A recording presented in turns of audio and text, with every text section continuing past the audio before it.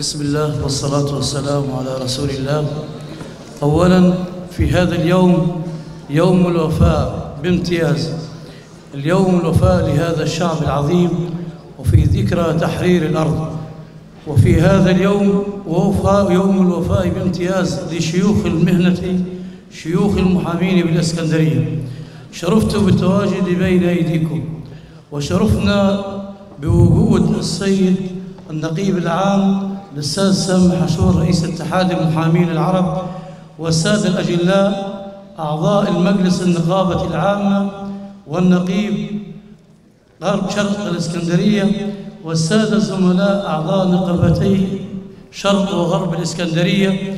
شرفنا بهذا اليوم أن نكون بين يدي شيوخ المهنة المحاماة أساتذة أساتذتي الذي الذي نتشرف بالتواجد أمامهم وأن يكون هذا اليوم يوم وفاء لهم وتقديرا لتاريخهم العظيم.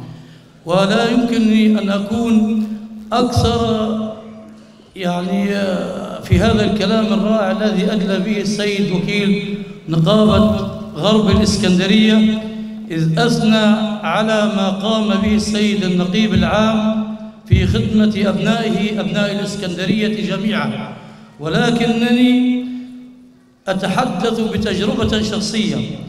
فالحقيقة أقول من منا في كل الوطن العربي الكبير لا يسمع بسام عاشور لو في مدينة طنجة في المغرب سألوا سائلا مارا في أحد شوارعها أو في مدينة المنامة في البحرين وهو شيخ المحامين. ورئيس اتحاد المحامين العرب ونقيبنا ونعتز به وإذ ما نشكر النقيب العام على أدائه معنا. وإنني أتحدث عن نقابة غرب الإسكندرية. سيد النقيب العام لم يتوانى أبدا عن خدمة أبنائه أعضاء النقابة غرب الإسكندرية. فهو شرفنا بأكثر من مرة بقوته وتواجده معنا. فإنا ممتنون له ولتواجده معنا ونتمنى من سيادتك فندم النظر في مقر جديد لنقابة غرب الإسكندرية.